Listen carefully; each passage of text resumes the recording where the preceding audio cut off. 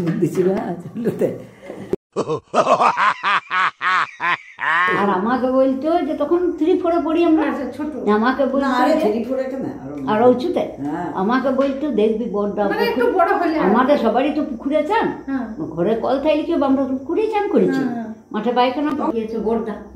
নিয়ে বলতে পেরেছি বড়টা আসছে না তাই আমাকে যাই হোক একটি নিশানা দিয়ে দিত এইটু বলে দিবি তাহলে আমি বুঝতে পারব। কোনো অ্যাভয়েড করবি হ্যাঁ। ঢিল ছুড়ে দিবি আমাদের ঢিল ছুড়ে দিবি। নিয়ে বড়টা এখন চান চান এসে আবার দেখতো বড়দা দাঁড়িয়ে দাঁড়িয়ে। বুঝতে পারতো যে আমি মনি দাঁড়িয়ে আছে তার মানে দীপু সাঁতার কাটছি।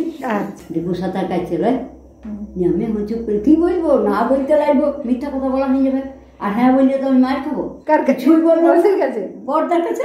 ও হ্যাঁ বললেও মারি খাব হ্যাঁ, না আমাদের আমাদের দু চোর চড়াইলে হ্যাঁ। নিয়ে বলছে কই দীপু এবার আমি তো বলতে লাগছি দীপু কই হ্যাঁ। বড়দা তো চিনে দিল নিয়ে বলে গায়ে এদিকে আয়।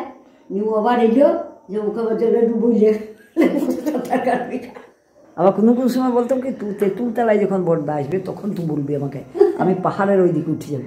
আমি ডুবে ডুবে ওই দিকে চলে যাব। বড়দা তো দাঁড়িয়ে থাকে না এইদিকে তো দেখতে পেয়েছেন আমাকে সোজা সোজা হ্যাঁ। এখন পাহাড়গুলো কেটে সব সবজি লাগাইছে। কিন্তু তখন উঁচু উঁচু পাহাড় ছিল। হ্যাঁ, অন্যদিকে কোনে মানে পুকুরটা তো লম্বাই হ্যাঁ। কোনে উঠে যাব। হ্যাঁ একবার হ্যাঁ ডুবে যাব ডুবে গেলে তো আর আমাকে দেখতে পেয়েছে না। আমি ডুবে ডুবে উঠবো গা ওই কোনে একদম ডুব সাঁতার দেবো।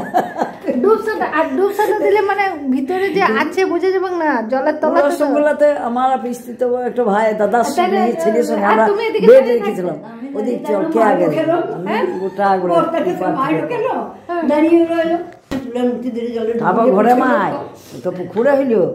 জলে চুবো না হইল। বাবা বলতে তু- থুতু ফেলে যা তারপরে এসে থুতু না শুকুতে শুকুতে ঘর আসবি। আর এখন সব শিখাইছে ছেলে মেয়েদেরকে। ভাতে মামা মেয়েছিল পেয়েছে করে ফেলছিল কি? এমন মর্মে মামা চুলা মুঠি ধরে মামা খুব ভয় ছিল তো। একবার পেচ্ছা সব।